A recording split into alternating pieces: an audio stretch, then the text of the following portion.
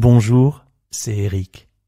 Merci d'être là aujourd'hui pour méditer avec moi le verset du jour de l'application YouVersion La Bible.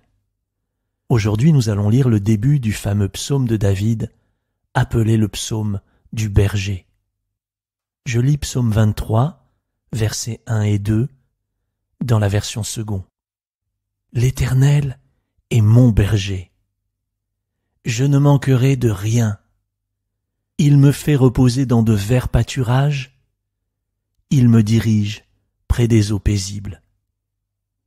David a été berger.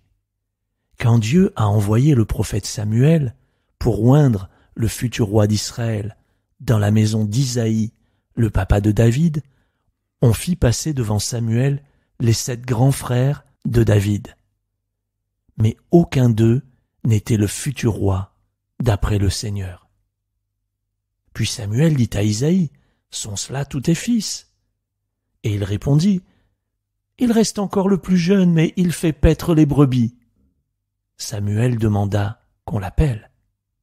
Incroyable, non? On avait oublié David, le jeune berger. Il faisait paître les brebis. Il était le seul au boulot, en fait. David connaissait donc bien le travail du berger et les besoins des brebis. Et dans notre psaume du jour, David se compare à une brebis du Seigneur. Il sait que la brebis a besoin d'un berger, d'une protection.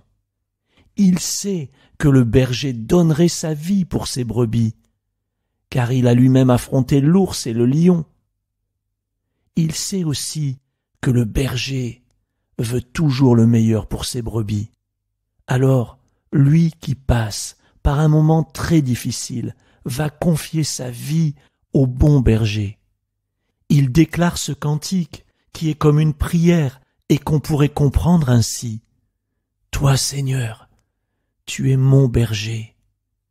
Même si aujourd'hui je suis dans le désert et que je semble manquer de tout, je sais par la foi que je ne manquerai de rien même si tout est sec et désertique autour de moi, tu vas me conduire dans de verts pâturages.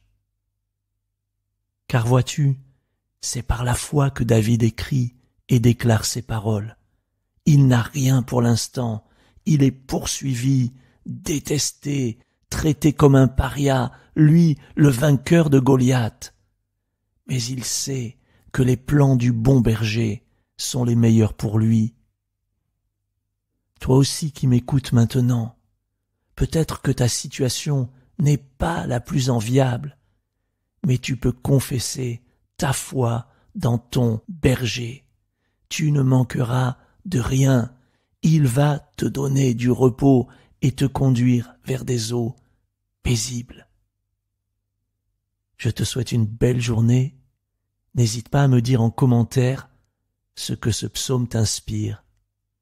On est ensemble.